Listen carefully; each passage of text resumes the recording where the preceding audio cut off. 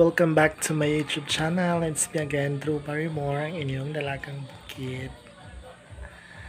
So, ayan po.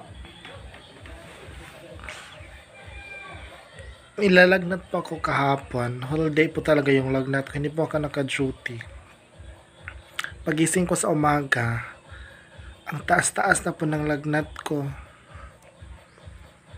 At saka, ano po, pinupunasan ko na lamang yung yung katawan ko ng ng ng ano ng cloth na binasa po ng tubig. Tapos dinagay ko dito. At saka pagdating ng gabi uminom po ako ng ano ano bang tawag nun? Panghimas mo yung ano yung yung ice nilagyan po ng mga damo-damo. Paggabis nakatulog na ako ng mahimbing nakatulog na ako ng mahing, mahimbing at saka makagising. Pag nagising ako magising ako kapag pag basang basa na yung mga damit ko. So ang ginawa ko is pinalitan ko para para ano para hindi tayo ubuhin. So um, hindi naman ako inubo, hindi ako sinipon. Ano lang talaga, masakit yung dito ko. Kasi, parang super busy ko for the past weeks. Ang dami kong mga ganap sa buhay. So, ayan. At saka, nung Sunday talaga, pumunta ko sa Danao. At ang init, ang, at ang init, at pagkatapos pumunta ako sa cemetery para puntan yung nanay ko. At pagkatapos nagugutom ako, pumunta po kami sa Amazon Christie doon sa ano, sa isang kainan at saka air condition po yon at saka minom ako ng ma, ma, ano minom ako ng tubig yung sobrang lamig. Ayan. At buti na lang kanina pagising ko hindi na po ako nilalagnat but ang sakit pa talaga ang sakit pa talaga ng dito ko oh, sakit sakit sakit. Sinabi ng kasamaan kong guro na ano daw to parang baka tonsil daw. Tonsillitis. So I decided na absent ako kanina. Bali pangalawang araw ko nang mag-absent. At saka nagpapa-check up talaga ako sa doktor. At saka hindi talaga nagkakamali po yung ano, yung yung doktor. Kasi pinaala, pinaano po niya kaya pina pinaganon po ako niya. At saka nakita niya na grabe talaga tonsillitis talaga daw, parang nihubag.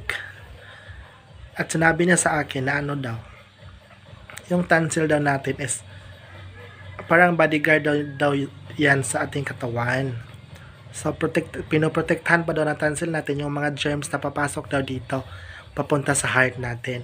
So, pag hindi na niya makayanan, so, yan po yung mangyayari, uh, hubag at saka possible na lalagnatin po tayo. At saka kailangan na ng kailangan na, na ng ano ng ng antibiotic para gumaling. Kasi pag may, may tonsillitis po tayo, parang lalagit, lalagnatin talaga tayo. So, ayan po, ipapakita ko po sa inyo.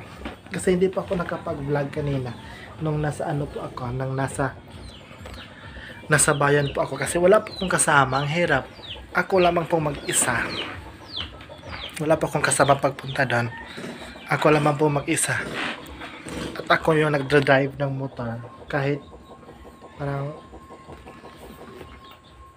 yung ano bang tawag doon malipong pero laban lang talaga kasi wala namang ibang makapag-drive sa akin.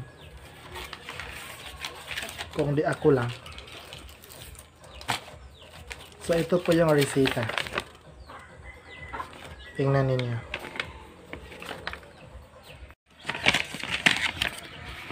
Ito po yung resita. Green gin 300 mg capsule number 20 1 cup 3 times a day after meals. Ito po yung tablet. So kasi hindi naman hindi na ako nilalagnat. So hindi na ako binibigyan ng tableta para sa lagnat. So ano po, nakainom na po ako ng, ng isa. Uminom po ako after eating my lunch kanina. Ginawa ko kanina is uh, yung check-up ko parang natapos siya mga around 11 na kasi supposedly number 2 po ako pero hindi ko alam na may attendance pala dun sa butika. Hindi po ako nakasulat.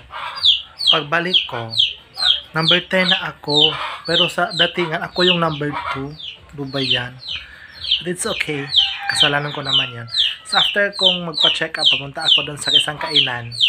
At saka pagkatapos ay, pagkatapos kong kumain is, uminom ako ag- kaagad ng, kaagad ng ano, ng, ng gamot. At saka, sa ngayon, parang makapagsalita na ako, hindi na siya masyadong masakit. Kahit kaisa, isang beses pa lamang po akong nakainom po. So, masasabi ko very effective talaga. At saka buti na lang din na nag, nag-decide talaga ako na magpapa-check up kanina. Kasi pag hindi pa ako nagpapa-check up, masakit pa din yung ano ko dito. oh. Kasi sinabi din ng kasama kong guro na kailangan daw pag may tonsillitis tayo, kailangan natin magpa-check up agad. Kasi huwag daw hant- hintay na pumutok daw yung mga hubag-hubag. Kasi pag, pag pumutok daw yon pu- pupunta po daw sa heart daw yung mga ano at baka, at baka mag, may mga complications na. So, better early better early po kay kesa ano po magsisisi na lamang po tayo sa huli ayan so kahapon ko pa itong routine na ano po humihiga dito at saka ang hirap ang hirap pala no pag magkasakit tayo pero ano parang lesson learned din na din ito sa akin kasi parang sobrang busy talaga ako. Alam nyo naman na Monday to Friday, grabe busy namin sa school. At saka yung mga weekend ko din is may mga may mga ganap din akong may mga ganap din ako sa buhay. Ang dami kong mga pinupuntahan. But laban lang talaga. Kasi importante din yun, di ba?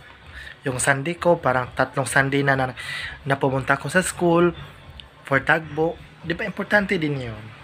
At saka yung ibang Saturday, yung pagva-vlog ko, doble kayo, di ba? Ang dami kasi nating project sa buhay.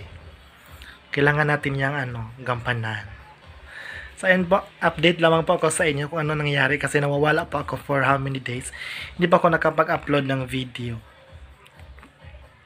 Ayan. So, maka- nakapagsalita na ako ng konti. Hindi na kahapon kasi parang grabe talaga. Yung dito ko, parang basta. Pagdating po ng hapon kahapon, sobrang init ko na. So yung ate ko pumunta na dito, ginawa ng ate ko is yung yung yung cloth binasa ng tubig tsa- tsaka nilagay niya dito sa dito tapos yung yung buong katawan ko pinahid niya ng tubig. Ganun ang ginagawa ng ate kasi ang init-init ko daw kahapon.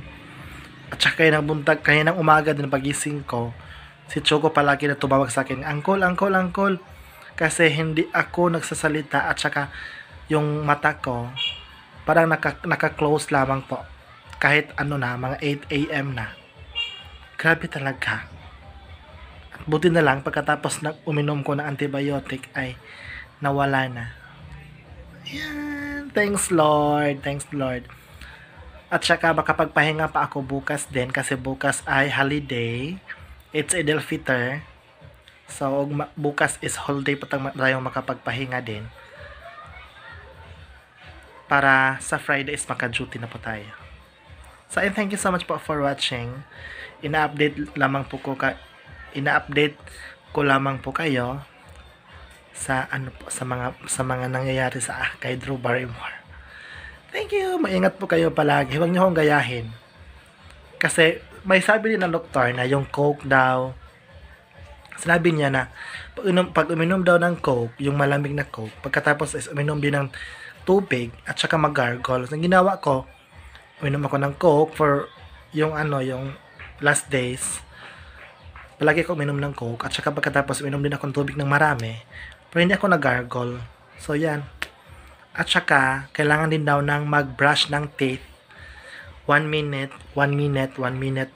Yung matagal daw, hindi daw ganito lang, yung ganun-ganun daw. Kasi isa daw sa cause ng ano, ng tonsillitis is yung ano ba 'yon?